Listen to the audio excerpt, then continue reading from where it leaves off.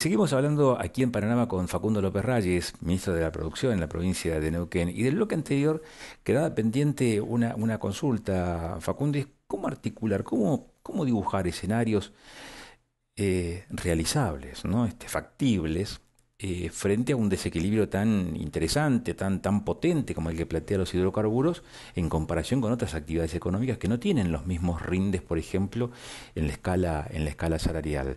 Eh, y eso me parece que es un resorte del área a tu cargo, que tiene que ver con, producción. ¿Cómo, se hace para nivelar las cosas? Eh, el objetivo principal que el ministerio que hoy me toca conducir tiene es justamente fortalecer y, diversificar la matriz económica de la provincia.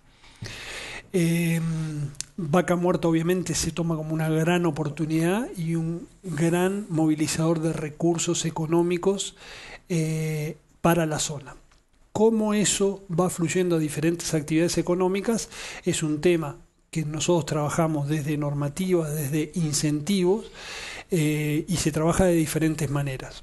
Hay algunas actividades económicas, hoy la más importante sigue siendo la fruticultura de peras y manzanas, pero es una actividad que está teniendo una situación estructural de hace ya varios años, eh, donde la actividad eh, ha perdido rentabilidad y eso ha imposibilitado que muchos productores tengan la capacidad de reinvertir, con lo cual está generando inconvenientes que está liberando, por ejemplo, chacras que han quedado abandonadas que hoy se están tomando con nuevas producciones. ¿Y cuáles son, eh, precisamente, ya que apuntas el tema de frutícola y, frutas de pepita, que son las más castigadas en todo caso, en comparación con lo que podría llegar a ser la cereza o el carozo, que tienen otra ponderación en el mercado, eh, ¿cómo, porque vos, a ver, vos cotejás, este, esto lo, lo, esta información creo que de Came, ¿no? Este, lo, que se le paga al productor primario y lo que observas en góndola y 10 a 1 la diferencia. Es perverso.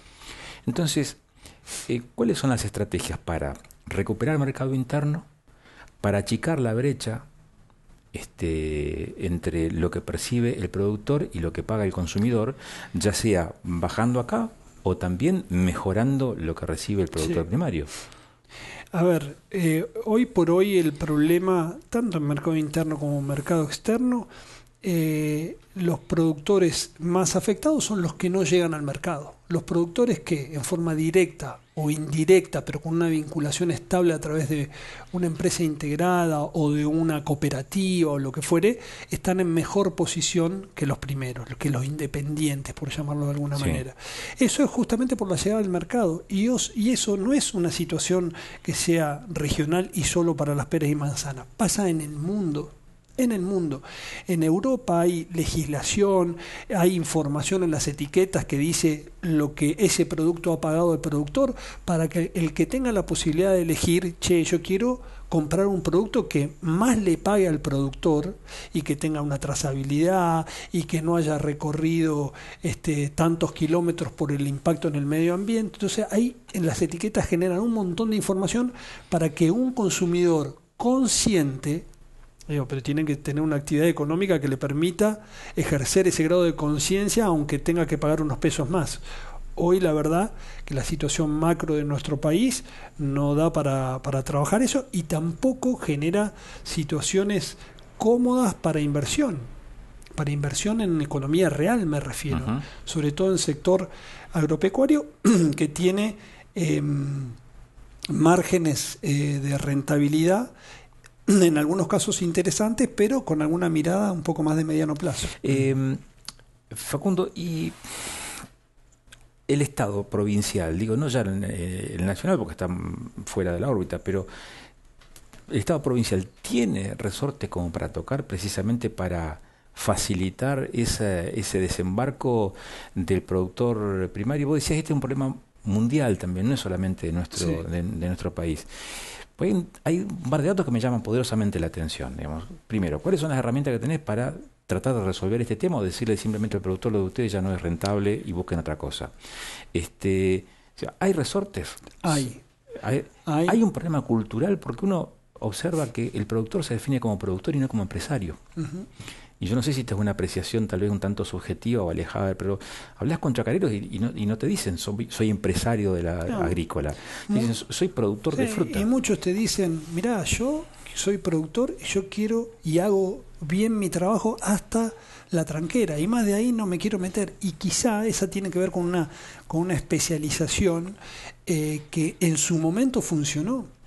Hoy, eh, digo, si el productor no es consciente de lo que sucede después de la tranquera, muchas veces no tiene la información que necesita digamos, para tomar decisiones en su chacra, de inversión en tal punto o en tal otro, de desinversión e reinversión en otro tema. Entonces, ese es, ese es un tema que me parece que es muy relevante. Pero desde el Estado hay maneras de, de trabajarlo. Te doy un ejemplo que vos mencionaste, el tema de las cerezas. Hoy la cereza con la apertura del mercado chino, que realmente eh, digo, yo pondero el trabajo que hizo Nación en esta apertura, pero localmente nosotros generamos una cámara de eh, productores de cereza integrados que tiene sede en Neuquén, pero tiene productores de Río Negro, de Chubut, de Santa Cruz, de Mendoza, pero la sede está acá porque nosotros propiciamos esa entidad que ha sido la que ha puesto arriba de la mesa la necesidad de las cerezas en China y la que traccionó lo que se logró, que es la apertura del mercado. Entonces, de esa manera, y eso se hizo desde el Centro PYME, ¿no? que es la Agencia de Desarrollo Económico de, de, la provincia. También se colaboró en su momento cuando se, trabajó el, se trabajaron los vuelos que se hicieron charters desde el aeropuerto de Neuquén, que en su momento no estaba abierto el mercado chino, pero entraban en China a través de Hong Kong. Eso se hizo en el aeropuerto de acá. Hoy por hoy, la demanda de cerezas es, yo diría que no, hoy por hoy no, no, no se ve el límite. Con lo cual, nosotros estamos propiciando que se radiquen más inversiones para producción de cereza. Ahora, la cereza requiere de un nivel de inversión muy alto y de un, eh, de un trabajo más empresario que la mirada del, de la mera producción. ¿Se entiende? son, es un fruto muy sensible que tiene que ser trabajado, digamos, desde la chacra para adelante con muchísimo cuidado. Entonces se requieren inversiones importantes. Entonces, ese es uno. Otro, la acuicultura. Eh, ya terminamos la planta de procesamiento de pescado. La semana pasada se, se, hizo una publicación nacional e internacional para interesados en, en, administrar la planta, que la vamos a concesionar por 20 años. Y ya tenemos muchos interesados, de hecho tenemos presentadas tres solicitudes de nuevas concesiones en Alicurá y Piedra del Aila, que son embalses que tienen un estatus sanitario inigualable a nivel mundial y eso es política pública. Mantener los estatus sanitarios de los embalses es una política pública nacional, pero también provincial y regional. Eh, las cuencas son compartidas con Río Negro, entonces eso es una responsabilidad y una obligación de la, de la provincia sostener eso porque es un factor competitivo para desarrollar esta actividad que hoy también es muy rentable a nivel mundial no ya la trucha pan size, que era el tamaño plato como se viene haciendo, sino la trucha que le llaman a salmonada, que compite directamente en los mercados externos, porque todo lo que se produce en estos proyectos que se han presentado es para mercado externo, para exportar, para ingresar divisas. Entonces, hay algunas actividades, si bien tenemos problemas en la fruticultura de manzana y pera, en lo que es cereza, en lo que es frutos secos, en lo que es acuicultura, se van abriendo este, oportunidades. Lo otro, el forraje, la producción de forraje eh, y la integración con los engordes. Hoy eh, Neuquén, solo el 18% de la demanda de carne en Neuquén se abastece con carne neuquina. Imagínate si no hay posibilidades de desarrollar. Eh, y, y, de integrar ¿no? la producción de forraje con la ganadería no solamente estar pensando y que es, es necesario para los engordes traer este forraje de pampa húmeda, se necesita. Hubiese sido genial tener el, el tren de, de, vaca muerta porque hubiese posibilitado en mejores condiciones traer esos alimentos y, y en todo caso después enviar producciones nuestras. ¿no? Gracias por estos minutos. Gracias a vos como siempre no podíamos soslayar la posibilidad de charlar con, con López Raggi respecto de las otras actividades que completan el abanico de opciones económicas que tiene la provincia de Neuquén.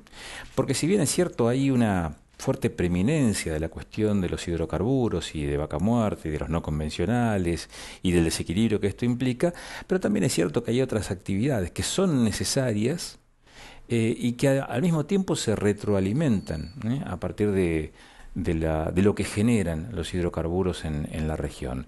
Eh, obviamente que quedan pendientes otras situaciones, pero seguramente eh, será motivo de charla eh, con otros eh, voceros de la administración o provincial o nacional que tienen que ver con algunas de las vicisitudes planteadas respecto a los hidrocarburos, como por ejemplo la infraestructura. Y de allí seguramente hablaremos oportunamente con quienes tienen injerencia en, este, en, estos temas precisamente, que están también relacionados con, los hidrocarburos, con la riqueza que genera y que derrama además en el resto de las actividades económicas. Gracias por su gentileza. Nos vemos en siete días.